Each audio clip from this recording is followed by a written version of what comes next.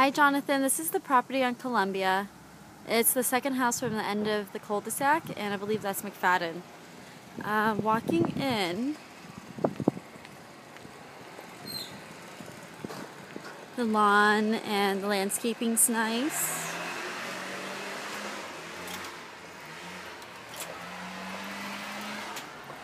It's a nice big open floor plan. We have a fireplace here. Living, open dining, and then a kitchen. It looks pretty original but in good condition. This is the addition and the family room back here. Backyard is pretty small and pretty tight.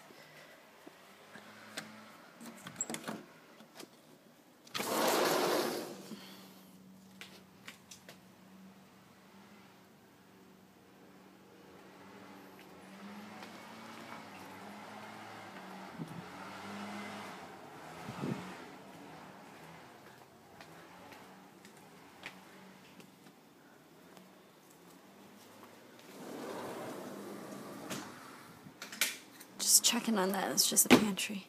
Okay, so walking through here, this would be where the master bathroom is for a Citadel. It connects to this bedroom. It's a big bedroom.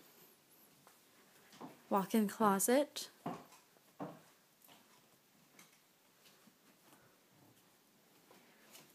Very similar floor plan to Citadel. Here's the other bedroom, smaller because they pushed it in to make the walk-in for the master. Closet for this one. And here is that uh, Jack and Jill bedroom. So you do have direct garage access. Again, we can make that hallway. But if you close these rooms off, it's going to be very small.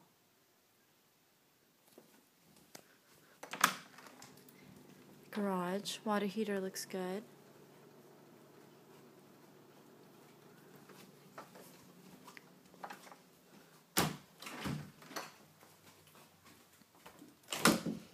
And they put the laundry inside this bedroom. So you would probably have to bring it out into the garage as well. Okay, so that's it. Thank you.